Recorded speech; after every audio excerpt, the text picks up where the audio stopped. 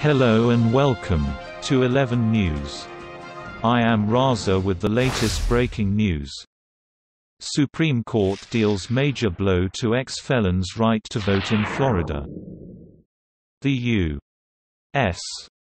Supreme Court has left in place a lower court order that likely will prevent hundreds of thousands of ex-felons in Florida from voting in the November election. It is the fourth time that the court has refused to intervene to protect voting rights this year. In 2018, nearly two-thirds of the Florida electorate voted to amend the state constitution and allow ex-felons to vote. The amendment applied to ex-felons once they had completed their parole or probation periods, and it did not apply to those convicted of murder or sexual offenses.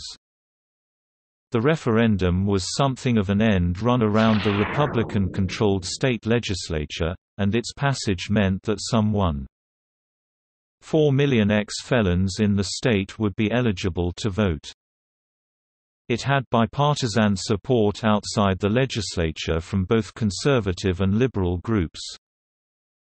The GOP-controlled legislature, however, sought to limit the effects of the amendment by passing a law that conditioned the right to vote on payment of all fees, fines, and restitution that were part of the sentence in each felon's case.